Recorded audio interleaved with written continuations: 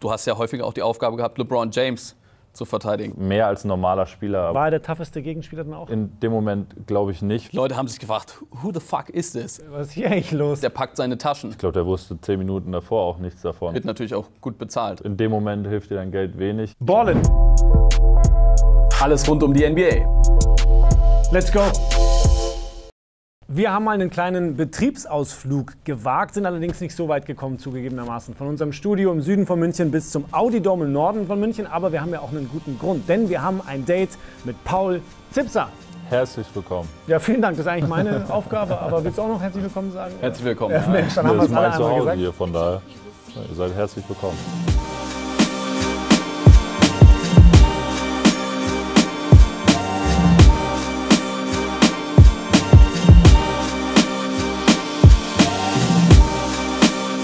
Paul Zipser, zwei Jahre bei den Bulls gespielt in der NBA zwischen 2016 und 2018, mittlerweile wieder in Deutschland bei den Bayern und sein Trainer Trinkieri hat zuletzt gesagt, er wird dich gerne mal umbringen. Deswegen die wichtigste Frage, geht's dir gut? Mir geht es soweit sehr gut. Ja, bis jetzt hat er es noch nicht ernsthaft probiert. Ähm, immer wieder äh, im Training ähm, führen wir Gespräche und er versucht mich jeden Tag besser zu machen. Was ja momentan ganz gut gelingt, du verfolgst ja auch die deutsche Liga, Alex. Und wie gut ist der Paul momentan so? In deinen Augen, du bist ja sehr streng. Ja, äh, sehr gut. Also auch wenn es mir schwerfällt, das zu sagen, aber er spielt momentan, finde ich, mit den besten Basketball, den er bisher überhaupt gespielt hat. Also trifft den Dreier extrem gut, hohe Belastung, Euroleague. Eigentlich hast du pro Woche zwei, drei Spiele, je nachdem, ob er zweimal oder dreimal ähm, spielt. Also das ist schon äh, tough momentan, aber er spielt mit seinem besten Basketball, hat eine gute Rolle gefunden jetzt, glaube ich, in der Mannschaft, die ihm sehr, sehr gut passt. Dementsprechend gut. Willst du irgendwas dagegen sagen oder machen wir einen Strich Danke, das, äh, das lassen wir einfach so stehen. Mir, dann haben wir auf an der Stelle, oder? ja, ist wunderbar. Aber gibt es dann eigentlich so bei dir den Gedanken, irgendwie vielleicht doch mal, ich meine, du bist 26, wirst 27, doch nochmal so in Richtung Teich, dass darüber NBA nochmal ein Thema vielleicht? Eventuell, aber wie Alex gerade schon gesagt hat, wir haben so viele Sachen jetzt während der Saison ähm, im Kopf. Ich denke jetzt eigentlich immer nur von Reise zu Reise, von Spiel zu Spiel, so viel über den Sommer. Ähm, der Vertrag läuft ja aus jetzt im Sommer, aber ähm, ja, viel darüber nachgedacht jetzt. Äh, bis jetzt bin ich ziemlich ehrlich, äh, habe ich nicht. Kleine Phrasenschwein-Antwort. Aber die erlauben an der Stelle. Was meinst du? Schafft das nochmal? Geht er nochmal rüber? Äh, ich glaube, er hat auf jeden Fall die Möglichkeit dazu. Also jemand, der schon in der NBA war und dort gezeigt hat, dass er dort spielen kann, was du ein Jahr gezeigt hast, das andere ja, wir so, später noch dazu. so ein bisschen semi, aber du hast gezeigt, dass du es kannst und dementsprechend ähm, bin ich davon überzeugt, dass die NBA ihn ganz bestimmt im Auge hat und wenn er weiter so spielt, weiter so konstant spielt, Verletzung auch in den Griff bekommt, was aktuell definitiv der Fall ist, dann bin ich mir sicher, dass es da noch äh, das ein oder andere Angebot auf jeden Fall geben wird. Wir wollen natürlich über genau diese Jahre bei den Bulls sprechen, die Paul hatte und fangen mal ganz vorne an. Draft Night. Für viele, glaube ich, so mit der größte Tag im Leben eines Basketballers, gerade für die Jungen. Jetzt warst du schon einen Ticken älter, aber was hast du noch für Erinnerungen an die Draft? Einiges noch. Also äh, ganze Family in, im Wohnzimmer in Schriesheim, also bei Heidelberg, äh, bei meinen Eltern. Ähm, ja, meine Frau war da, die ganze Family, wie gesagt. Äh, war eine lange Nacht, also bis 48, äh, 80, 48. Pick. Vergeht ein bisschen Zeit. Ähm, ja, aber es war sehr aufregend, der ganze Tag danach. Trubel und äh, so viel Emotionen, so viele verschiedene Sachen. Ähm, wie gesagt, jetzt ich war ein bisschen älterer Rookie schon, also ich habe schon ein paar Sachen erlebt, aber es ist halt was ganz Neues, was man da dann erlebt und äh, mitbekommt. Und dann sind es die Bulls geworden. Denkt man sich, ach nö, die Bulls oder yes, die Bulls, hattest du da irgendwie oder hattest du Da überhaupt war ein ich richtig. Also ich habe gehört einfach, wir haben davor ein bisschen telefoniert, äh, weil es dann in der Nacht auch ziemlich hektisch entschieden äh, worden ist, ob ich jetzt ein bisschen vorher vielleicht gedraftet äh, werde ähm, und dann in Europa bleibe oder ob ich unbedingt wieder, äh, also direkt gehen will. Und ich habe mich dann äh, ganz klar dafür äh, entschieden, je nachdem welches Team äh, es ist, dann rüber zu gehen. Dann haben sie gesagt, okay, es wäre Chicago. Und dann haben wir ein bisschen 20 bis 30 Sekunden drüber geredet, aber für mich war eigentlich klar, okay, Chicago, Bulls, da will ich auf jeden Fall hin. Was hat dann den Ausschlag gegeben am Ende? Warum, warum war es dann für dich so klar? Erstens wollte ich diese Challenge direkt. Ich war mir, ich, ich hatte sehr viel Selbstvertrauen einfach in dem Jahr davor auch getankt und ich war mir eigentlich äh, bewusst, dass ich das drüben schaffe, auch wenn ich vielleicht ein bisschen Zeit brauche, aber ich weiß, dass ich es schaffe und ich habe dann gedacht, okay, wenn ich jetzt noch ein Jahr warte und das meine Entscheidung ist, dann werde ich damit auf keinen Fall glücklich und äh, ja und dann äh, die Stadt Chicago, äh, die, die Bulls dann, ich wusste relativ wenig, was jetzt gerade vertraglich oder viele Leute setzen sich davor, ähm, damit, damit auseinander, äh, welche Teams jetzt äh, perfekt wären, ähm, wo jetzt auf meiner Position zum Beispiel viel frei wäre oder so. Ich habe dann, wie gesagt, dann ein bisschen Agenten zugehört. Ähm, die gemeinten, da wäre eine Chance äh, möglich, dann auch wirklich Spielzeit zu bekommen und ja, das hat sich dann gezeigt. Und dann steht man da im Camp und plötzlich steht da einer wie Rondo vor einem und denkt sich, was ist hier eigentlich, was ist hier eigentlich los? Oder ist man da schon so abgebrüht, du hast ja gesagt, du warst jetzt nicht der jüngste Rookie, dass das alles normal war oder Augenreiben? Ja, normal war das auf keinen Fall. Also ich kam ja direkt von der Nationalmannschaft auch. Ähm, Quali war das, glaube ich. Ja, Quali. Und ähm, was sehr hektisch war und anstrengend und es war knapper, als wir alle gedacht haben. Und dann komme ich nach Chicago und dann, ich glaube, am zweiten, dritten Tag in Amerika geht es dann direkt in der Preseason los. Und äh, ja, sehr anstrengend gewesen und trotzdem dann diese ganzen Leute mit Jimmy, äh, Jimmy Butler, Wade, Rondo, was du gerade gesagt hast, direkt neben dir zu haben und dann du arbeitest jeden Tag, jede Minute mit den Jungs zusammen. Es war sehr aufregend und was ganz Besonderes. Ganz kurz zu Rondo, weil du ihn äh, angesprochen hast. Der hat jetzt nicht so das beste Image unbedingt, also dass er der wirklich pflegeleichteste Spieler jetzt überhaupt sein soll. Wir erinnern uns an die Mavs 2014, 15 mit Rick Carlisle, wo es überhaupt nicht funktioniert hat. Aber du hast mir immer wieder gesagt, hey, das ist ein richtig guter Typ, der die jungen Spieler pusht, der ein Leader ist und versucht, das ganze Team besser zu machen. Ja, also ich habe eigentlich auch nur davor gehört, gerade von dir, äh, weil es bei den Mavs nicht perfekt war. Ich glaube, es ist einfach ein Charakter, wenn er sich wohlfühlt, wenn er eine Chance sieht, dass es richtig losgeht und wenn er spürt, dass er äh, ja, richtig äh, Rückenwind bekommt auch, ähm, dann, dann ist der perfekt. Also ich habe wirklich äh, wenig oder noch nie so einen Teammate äh, erlebt wie ihn. Ähm, jede Sekunde ähm, im Training, neben Training, vorm Training ist äh, voller Fokus da und versucht den Jungs zu helfen, mir zu helfen äh, gibt allen das, das Gefühl, dass wir alle an einer Sache die ganze Zeit auch arbeiten. Und gerade die letzten 15, 20 Spiele vor den Playoffs ähm, war das Gefühl ein ganz anderes plötzlich. Dieser, dieser Playoff-Rondo ist dann richtig eingeschlagen. Und diese Playoffs und diese Mentalität da, was ich da dann erlebt habe und was ich da gelernt habe, ist äh, ja, das war 100% Rondo. Und klar, da gibt es verschiedene, äh, verschiedene Stimmen, weil er dann aber auch so ein Mensch ist, wenn er keinen Bock hat, dann sagt er das auch oder zeigt es. Ähm, aber wenn er Bock hat, dann ist er sehr, sehr krass in vielen Bereichen. Er ist sicherlich nicht der leichteste Typ. Ich glaube, das können wir feststellen. Das hat sich auch schon mehrfach gezeigt jetzt in der NBA. Aber wie du sagst, wenn es halt eben funktioniert, äh, dann ist er ein richtig guter Teammate. Wahrscheinlich immer ein guter Teammate, aber dann ist er auch deutlich pflegeleichter. Ja, ich glaube, immer ein guter Teammate wird er, wird ja. er schon sein. Also in den letzten Jahren reden ja auch immer wieder Teammates so offen oder versuchen das so, dieses Bild vielleicht ein bisschen zu zu ändern, was die Medien oder was er selbst vielleicht auch mal ein bisschen äh, verschuldet hat. Aber ähm, ja, ich glaube, da versuchen sich schon mehrere Leute in den letzten Jahren auszusprechen. Und man hört so ein bisschen raus, er war so dein Anker auch am Anfang. Ich meine, du kommst in, eine komplett neu, in einen neuen Kosmos eigentlich. Neues Land, völlig neue Mannschaft. War er so jemand, der dich da geführt hat oder habe ich das jetzt falsch verstanden? Ja, auf jeden Fall. Ähm, also er hat generell nicht nur mich, sondern die ganzen jungen Spieler äh, von Tag 1. Ich weiß noch, wie ich rübergeflogen, äh, rübergeflogen bin vor der Preseason, um äh, zu unterschreiben. Dann war er da. Ähm, das war jetzt Zufall. Und dann wollte ich halt ein, zwei Mal trainieren, weil ich halt im Rhythmus war und wegen, wegen Nationalmannschaft. Und dann hat er gesagt, so aus sich, er gibt mir mal ein paar Trainingssachen, ich mache jetzt mit.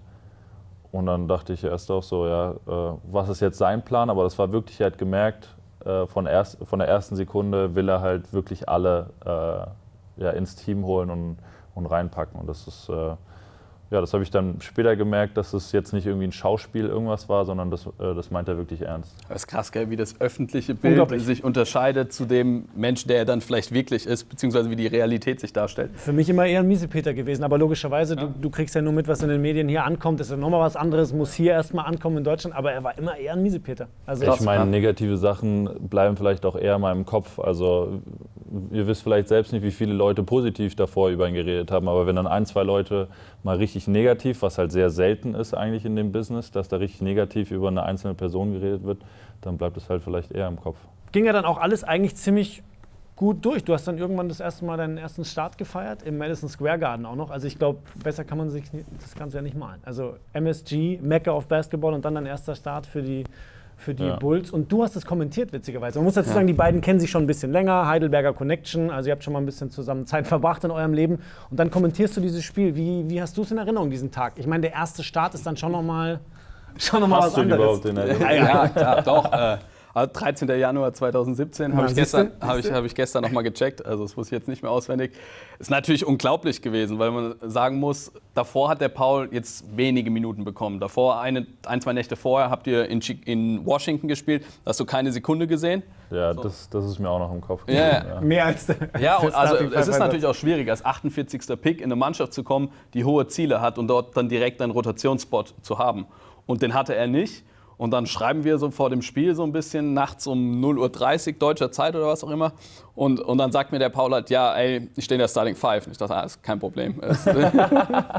ist okay, Starting Five. Äh, damit hatten wir jetzt alle, glaube ich, nicht gerechnet. Ich glaube, du hattest jetzt auch nicht unbedingt damit gerechnet. Wollte ich fragen, also kam für dich auch völlig überraschend? Nee, bei uns war immer so, wir kommen in die Halle, dann zum Shootaround und dann steht halt, wir machen, wir besprechen kurz, was wir machen, kurze Teamvorstellung und dann steht halt immer die Starting Five da, was zu 99 Prozent oder 95 Prozent bei uns so die gleichen Namen waren. Und dann gucke ich so und ich sehe so meinen Namen. Ich so, alles klar, das ist wie gesagt kein Problem. Ja, aber äh, das war ja dann gar kein schlechtes Spiel, was du gemacht hast. Also, du, was soll das denn jetzt heißen? Nee, also, äh, Stimmt, das war überraschenderweise äh, kein war, schlechtes nee, ich war wirklich, Ich war wirklich überrascht, äh, wie selbstbewusst du gespielt hast so in diesem Moment. Also du hast 34 Minuten in der Partie gesehen. Du hast nur einmal in deiner Karriere noch mehr Spielzeit in der NBA gesehen. Also häufig viel gespielt, aber 34 Minuten ist ein hoher Wert. Also zum Vergleich, ein LeBron James zum Beispiel spielt aktuell 31, 32 Minuten im Schnitt. So, also es ist nicht normal, dass man wirklich jetzt 40, 45 Minuten spielt. Das macht keiner in der NBA. Und da hast du echt gut gespielt. Ich glaube, ihr habt am Ende zwar relativ deutlich verloren, aber Madison Square Garden Debüt ist schon Wahnsinn, oder? Ja, ich sollte eigentlich, warum ich auch äh, einen Starting-Spot äh, bekommen habe, war, weil ich eigentlich Porzingis äh, verteidigen sollte und äh, ist dann leider dann ausgefallen. Mhm, aber trotzdem weitergespielt ja, das äh, alles, alles ist so ein bisschen verschwommen gewesen und ich habe irgendwie einen Layup im Fastback irgendwie gehabt und äh, also der ist mir extrem noch im, im ich, weiß, ich, weiß, noch genau, was ich zu welcher Sekunde da gedacht habe, der Moment. Ähm, ja, und dieses ganze Madison Square Garden mit der ganzen äh, Show und das Event einfach wirklich an sich, das ist ja, wer schon mal da war, nochmal was ganz anderes mit den Lakers vielleicht zusammen. Ähm, ja, das war einfach ein Film, in dem ich in dem Moment einfach mittendrin war. So. Also besseres Debüt, also was den Standort angeht, gibt es ja. ja. im Endeffekt gar nicht. Madison Square Garden, vielleicht neben dem Staples Center die Halle in der NBA mit der größten Tradition. Also, ist das anders, ob du jetzt in Minnesota dein Debüt gibst? Ja. Also wer hätte ungefähr so ein halbes Jahr vorher gedacht, dass du im Chicago Bulls Trikot im Madison Square Garden bei den New York Knicks ja, die, startest? Wahrscheinlich die wenigsten. Ja. ja. ja. Chicago Bulls muss man ja auch sagen. Ich meine, dann direkt zu so einem doch nochmal Traditionsclub, wenn man das so sagen kann, in der NBA. Ist es dann auch so eine, nimmt man das wahr, wenn du da in der Stadt unterwegs bist, dass man da direkt irgendwie zu so einem, zu so einem Teil gehört, der ja, riesig ja. wichtig ist? Das ist schon, das ist schon äh, ganz anderer Stellenwert generell in Amerika, aber in Chicago einfach. Du siehst überall Bulls. Auch selbst wenn du nicht in Chicago bist, wenn du in Heidelberg rumläufst, siehst du trotzdem irgendwie Bulls-Zeichen auf, auf den Cappies oder so. Die Bulls sind einfach was ganz anderes. Es ist einfach ein Brand wirklich weltweit mittlerweile. Und in der Stadt, ähm, da interessiert sich gefühlt jeder äh, für, für dieses Franchise. Und jetzt muss man sagen, war sie auch wirklich in der ersten Saison, du hast schon gesagt, es gab Ambitionen. Also es war ja wirklich Star Power am Start, jetzt abgesehen von Rondo dann mit, mit D-Wade und, und mit Jimmy Butler. Wie hast du die beiden so erlebt? Waren das Typen, die da vielleicht unnahbar waren, die so ihr Ding gemacht haben? Oder war das, war das in sich ein geschlossener Kreis? Ähm, also ich würde sagen, dieses äh, Thema D-Wade war ja sowieso auch zu der Zeit äh, ein Riesenthema, weil, äh, weil er einfach aus Chicago gekommen ist und ewig Miami. Also es war einfach ein Riesending. Ähm, seine erste Nacht auch, wie er rausgelaufen ist und dann sein Name das erste Mal kommt aus Chicago. Also dieses Thema D-Wade war auch ein Riesenthema in, im Team oder in der Stadt. Ähm, und er hatte viel zu tun, auch äh, irgendwie Promo-Sachen oder hat sich hier engagiert. Und da hat man schon gemerkt, der ist einfach zurück zu Hause und er hatte viel, viele Sachen äh, vorgehabt. Ähm, und Jimmy war einfach äh, ja, unser, unser Star, unser äh, Go-To-Guy, der einfach äh, ja, jede, jede Nacht äh, rausgeht und versucht zu killen. So. Ähm, zwischendurch natürlich ein Wade, der hatte vielleicht mal fitnessmäßig nicht die Möglichkeiten wie ein Jimmy oder wie, ja, wie ein Rondo jetzt äh, ähm, da jede Nacht so voll, Vollgas zu geben, aber man hat gesehen, die drei das ist einfach ein anderes Level. Es war aber trotzdem so up and down die Season. Also ihr hattet teilweise Läufe, wo alles ging. Ihr seid zum Beispiel 3-0 gestartet. Ähm, danach ging dann kurzzeitig mal überhaupt gar nichts. Wie kannst du dir das erklären, dass es so war? Also gerade am Anfang hatte ich mehr wahrscheinlich mit mir selbst zu tun und mit meinem Training und mit mich präsentieren, weil ich irgendwie versuche, in die Rotation zu kommen. Ich glaube, ich weiß nicht, wann ich das erste Mal überhaupt drauf stand, vielleicht nach 20, 25 Spielen. War das dann ein Turnaround? Dieses Knicks-Spiel so tatsächlich? Also war es dann auch wirklich ja, so schon. für dich, dass du danach gesagt hast, okay, jetzt ist was passiert, so das ist, jetzt geht es in die eine Richtung weiter? Ja, ich glaube, das braucht jeder Spieler, egal in welcher Liga, auf welchem neuen Level du ankommst. Du musst dir einmal selbst das beweisen, dass du, dass du das kannst, auch wenn du es davor weißt oder, oder denkst. Aber das musst du einmal gemacht haben, um dann nochmal ein ganz anderes Mindset zu bekommen. Ja, und das war krass. Also er hat davor, wie gesagt, kaum gespielt, manchmal gar nicht, teilweise so was weiß ich, ein bisschen Garbage-Minuten, wenn die, ja. die Spiele entschieden waren. Und dann hat er eben dieses Spiel in New York und ab dem Zeitpunkt warst du voll in der Rotation drin. Also es waren dann nicht irgendwie so 10, 12 Minuten, sondern es waren so ab dem Zeitpunkt so 23, 24 Minuten im Schnitt bis zum Ende der Saison. Und hast auch sehr, sehr gut gespielt. Also ich erinnere mich an, ich müsste dein Career High gewesen sein gegen die Brooklyn Nets, wo du einmal 21, 21 gemacht hast vor den Playoffs. Also je näher die Playoffs dann auch kamen, ist er immer besser reingekommen und da müssen wir natürlich über die Playoffs sprechen. Und das klingt, um das noch kurz einzu, einzuhaken, auch danach, dass du weil du meintest, du musstest dir auch selber beweisen als Spieler, aber vielleicht auch dem Trainer. Also war das vielleicht auch so, dass du da in dem Moment dann wirklich Heuberg, Fred Heuberg war ja damals der Coach, dass du ihm bewiesen hast, okay, ich kann das hier bringen? War das ja, auch so ein Vertrauensbeweis? Ja, auf jeden schon? Fall. Und mit der Aufgabe, äh, was ich davor gesagt habe, mit Porzingis verteidigen, das war ja auch äh, zwischendurch auf jeden Fall, oder es war meine Rolle auch äh, zu verteidigen, gerade wenn wir im Osten gegen die Superstars spielen, so mit LeBron zum Beispiel. Das sind einfach viele Aufgaben auf meiner Position, die einfach defensiv, ein Jimmy, ähm, der eigentlich sehr gerne verteidigt, aber mit dem offensiven ähm, Potenzial und mit dem, was er, was er macht, was er bringt, ja. äh, genau, mit der Verantwortung, das geht einfach nicht jede, jede Nacht. Da braucht er jemand auf seiner Position, dem, äh, dem er irgendwie auf den erzählen kann. Und äh, das, denke ich, hat er, hat er gefühlt, dass er, dass er das in mir, in mir hat. Und dann mit Spot-Up-Dreiern, das haben wir auch ein bisschen gebraucht, äh, sowas. Und ich denke, da habe ich einfach zum guten Zeitpunkt einfach gut reingepasst. Und, ja. Das ist was ganz Entscheidendes bei dir. Also ich glaube, das kann man über die Karriere hinweg beobachten. Wenn du eine klare Rolle hast und deine Rolle kennst, dann bist du verdammt gut. Also wenn du weißt, was du auszufüllen hast, und das war eben die Rolle, lass die oben das Pick and Roll laufen und du kriegst dann, du bewegst dich dann entweder vom Corner 45 Grad hoch oder andersrum und haust dann den Dreier rein, wo du dann ja auch gute Quoten hattest. Oder du hast die Aufgabe jetzt den und den zu verteidigen. Und du hast ja häufig auch die Aufgabe gehabt, LeBron James zu verteidigen. Kannst du ja vielleicht mal so ein bisschen erzählen, wie das war? Ich, ich liebe das Thema, weil das, äh, also wer mich kennt, LeBron James ist ein, äh, ja, nochmal ein ganz anderes Level. Also für mich früher, bevor ich Basketball gespielt habe, war Cristiano Ronaldo meiner, auf den ich so geguckt habe. Und danach war LeBron nochmal mal drei. So. Also was er abseits bringt, was er auf dem Spielfeld bringt seit zig Jahren. Also das ist einfach äh, bewundernswert und immer wieder gucke ich, guck ich ihm zu und, äh, und bewundere ihn immer noch, obwohl er immer das Gleiche eigentlich bringt und sich verbessert, im Jahr 15 verbessert. Also das sind einfach Sachen, die mich äh, extrem beeindrucken und einfach ein, äh, ein riesen äh, Vorbild auch ist. Und dann denn zu sehen, die ersten paar Spiele, wir natürlich im Osten, wir spielen gegen die Cavs recht, recht oft, dann durfte ich am Anfang zusehen und bin direkt dabei. Und dann äh, weiß ich, okay, meine Rolle ist auf meiner Position auch gut zu verteidigen.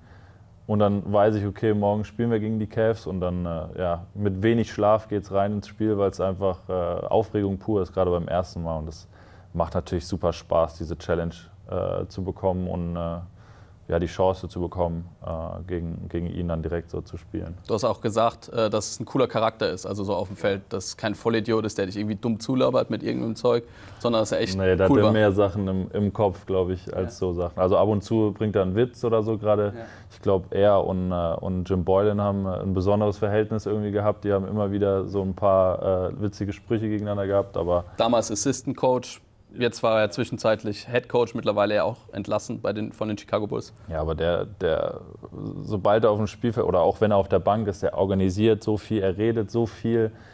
Das, also, ja, es ist mehr als ein normaler Spieler, aber das ist ja, glaube ich, auch allen, allen bekannt. Also. Abgesehen dessen muss ich jetzt die Frage stellen, also abgesehen des Gesamtbildes LeBron James, war er der tougheste Gegenspieler dann auch, den du hattest so im One-on-One? -on -One? In den Jahren Nee, bei den Im Bulls? One-on-One in dem Moment glaube ich nicht, weil er den Ball hat und viele äh, Wege und viel denkt für andere und dann den Pass gibt. Also ich kann da außer Druck auf den Ball zu machen wenig machen ab und zu. Dann denkt er, okay, jetzt will ich eins gegen eins spielen und dann denke ich, oh okay, jetzt geht's wirklich los so.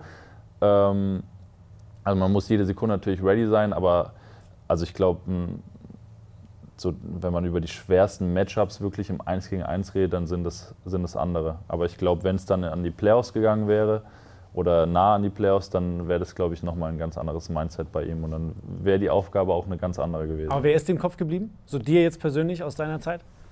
ähm, wer mir Probleme gemacht hat.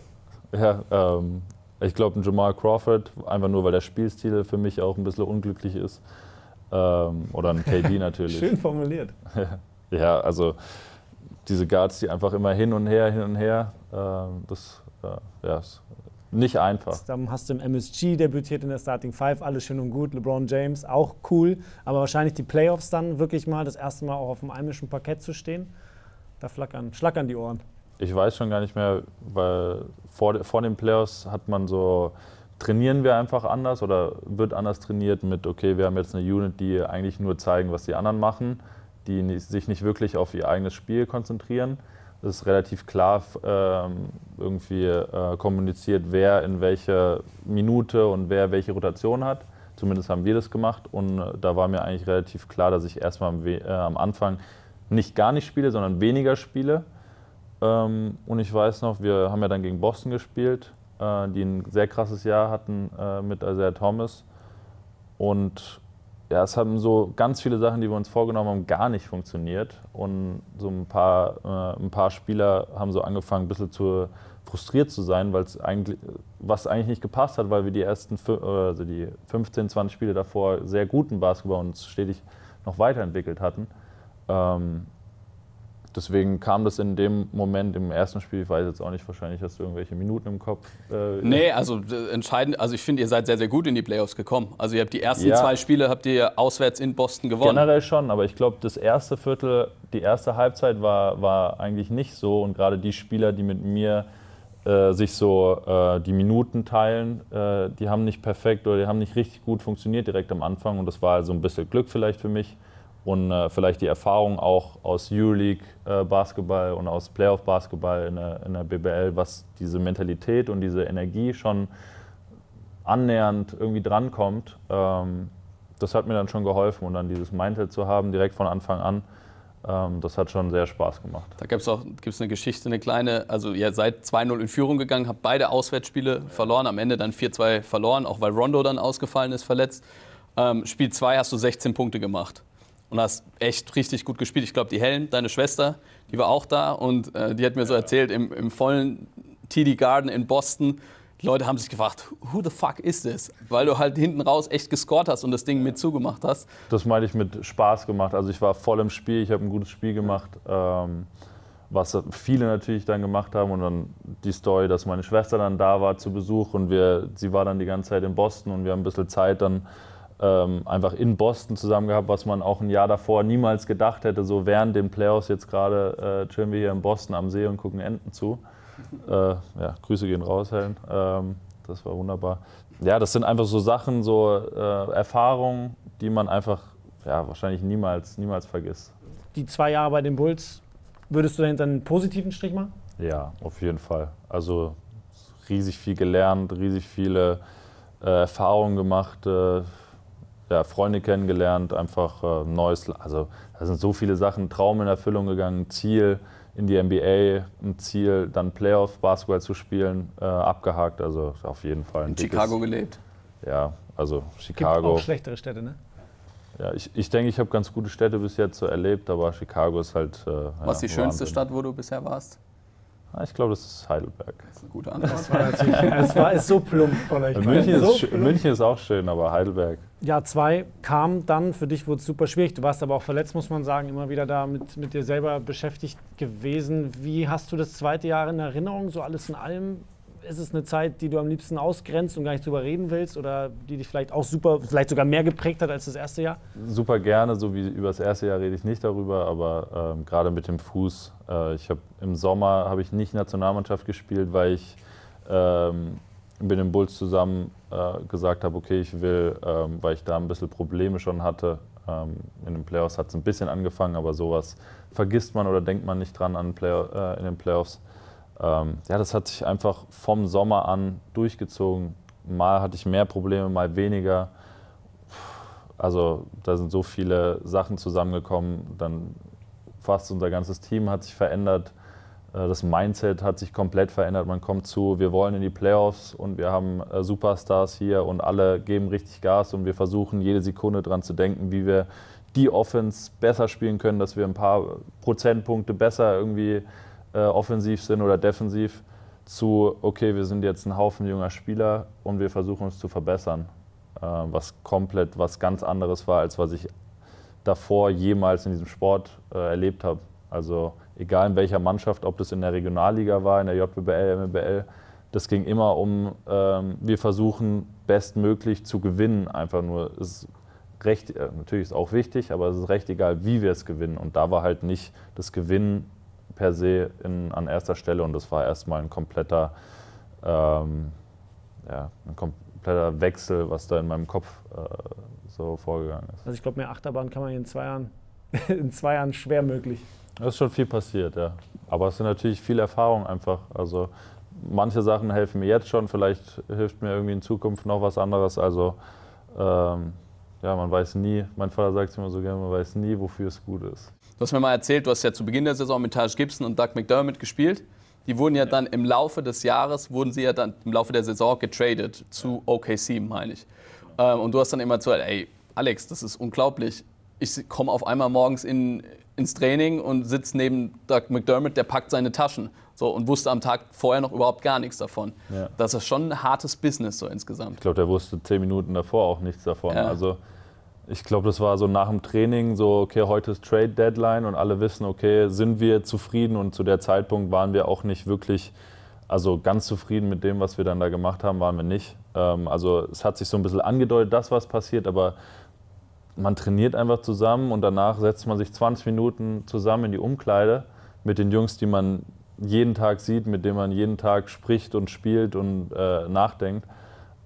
Und dann äh, ja, von der einen zur anderen Sekunde, ohne irgendwie ein Vorzeichen, ist irgendjemand plötzlich ganz woanders. Das ist schon äh, ein sehr komisches äh, Gefühl oder ein komisches, äh, ja, ist einfach komisch. Ja, diese Unsicherheit in der NBA, wo du spielst, wo du am nächsten Morgen dann vielleicht aufwachst. Ja ähm, die wird natürlich auch gut bezahlt. Also das gehört zu dem ganzen Business natürlich da auch irgendwie dazu. Klar, klar. In dem Moment hilft dir dein Geld wenig, aber ähm, ja, auf jeden Fall. Aber es wurde ja auch viel thematisiert, glaube ich, von einigen Superstars jetzt auch, weil ja die letzten Jahre die Trades irgendwie immer krasser werden. Äh, aber warst du dann auch in der Phase so um die De Trade Deadline selber irgendwie auf heißen Kohlen gesessen oder war bei dir klar, du bleibst bei, in Chicago? Nee, ich, ich war eigentlich ziemlich sicher, weil ich jetzt da auch angefangen habe, mehr zu spielen und ähm, ich habe da an, vielleicht auch nur, weil ich, äh, weil ich äh, neu in der Liga war, habe ich gar nicht daran gedacht, dass mich das erwischen könnte. Also vielleicht denken das aber auch alle in dem Raum, außer vielleicht die äh, Jungs, die irgendwie sechs, sieben Jahre schon in der Liga sind und vielleicht auch schon mal getradet wurden.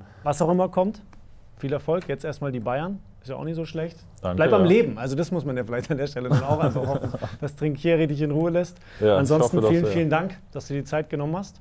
Ja, danke, dass ihr mich eingeladen habt. Sehr cool. Jetzt haben wir dich doch wieder eingeladen, oder wie rum ist das? Ja, jetzt? aber ich hab, ja, ihr habt euch selbst in meinem Wohnzimmer, ja, so, okay. dann darf ich euch trotzdem Dann sag jetzt bitte auch auf Wiedersehen zu den Leuten. Also auf Wiedersehen. Äh, ich hoffe, äh, wir sehen euch bald wieder im Audidom, wenn ihr alle uns zugucken wollt und nicht immer nur den beiden. Perfekt. Ja. Habt ihr noch letzte Worte? Nee, auf gar keinen Fall. Was soll man da noch sagen? Abonniert unseren Kanal, keine Ahnung, irgendwas Billiges. Macht's gut. Ciao, ciao.